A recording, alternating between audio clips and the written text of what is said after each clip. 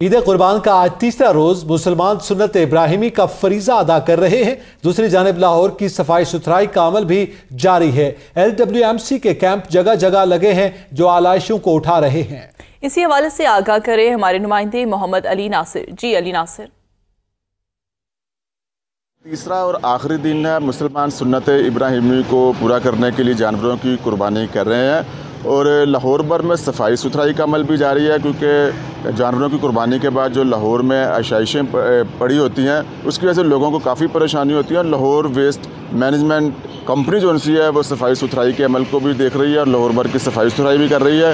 लेकिन कई जगहों पर लोग गिला शिकवा भी करते हुए दिखाई दे रहे हैं कि लाइशों की वजह से गंदगी और स्मेल फैल रही है। इसको उठाया जाना चाहिए। हमारे साथ अहलकार मौजूद हैं एल डब्ल्यू एम सी की बात करते हैं कि जहाँ पर एलाइशें हैं किस तरह ये काम कर रहे हैं और अगर किसी ने रबता करना हो तो किस तरह इनसे रबता कर सकते हैं।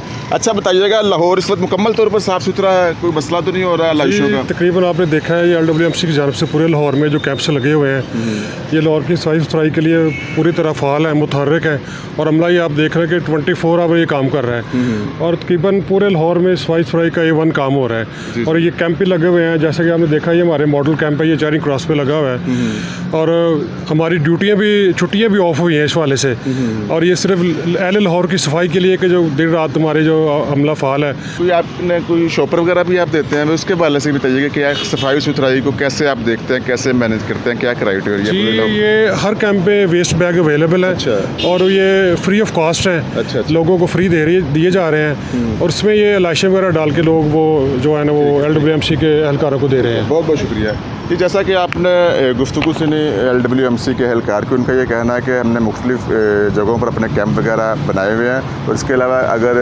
किसी गली और मोहल्ले में अगर अलाइशें वगैरह पड़ी हैं तो शहरीों को चाहिए कि इनकी हेल्पलाइन पर रबता करें, ये गाड़ी भेजेंगे और वहाँ से अलाइशों को उठा लेंगे।